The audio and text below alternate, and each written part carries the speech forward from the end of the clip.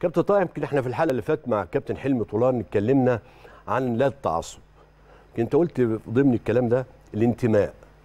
هل التعصب دوت جواز سفر أو جنسية عشان أقدر أتحرك بيها؟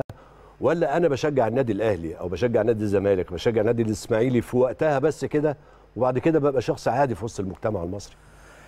شوف أقول لحضرتك على حاجة. مش مش حاسس إن ال ال آه.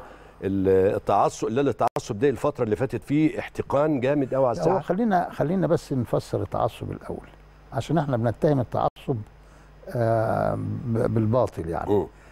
التعصب موجود وموجود. أنا متعصب معناه إن أنا بحب هذا النادي لكن لا يندرج تحت اسم التعصب مم. إن أنا أهين النادي الآخر أو أشتم النادي الآخر بالظبط أو إن أنا أعمل مشاكل مع النادي الآخر اطلاقا.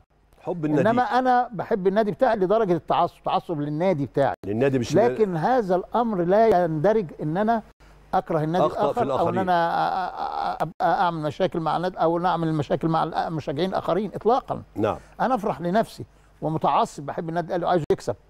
آه ده شيء مفروغ منه. عادي. بالظبط. ده اللي أنا بتكلم عنه.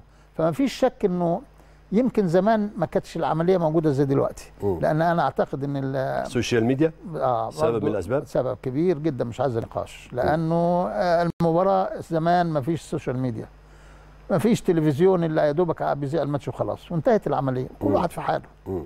ممكن آه بعد المباراة ما تنتهي طبعا كثير من الناس حتى قبل ما يجي التلفزيون كان الكابتن فهمي النتائج عمر إلا الكابتن فهمي عمر لما الساعة بيدوا 7 و5 الصح. آه 7 سبعة وخمسة. 7 و5 وتقعد بقى مستني يقول لك من شفيق الملواني في طنطا مش عارف مين والأسماء بيوصف آه، وتسيب الأهلي والزمالك آخر ماتشات يخليك. قاعد متكهرب طول النتيجة لآخر وقت يعني آه. آه. شكل آخر وقت زي ما يكون بي- الله يديله الصحة. والعافية. يا رب على فكرة في فترة قريبة كنت في تواصل معاه الحقيقة وقابلته كذا مرة جميلة. محترم محترم شوف الملاعب كانت زمان عبد الحليم حافظ وكان آه، في آه. كل النجوم يا كابتن كانوا بيحضروا. المباريات آه طبعا بيحضروا المباريات يعني عندك مباراة توتنهام ومباراة بنفيكا. هتلاقي فريد شوقي والنجوم الكبار كل كلهم الناس بيتفرجوا. كلها كانت موجودة. وكانت فرحة ولابس لبس- لبس كامل آه كانت حاجة جميلة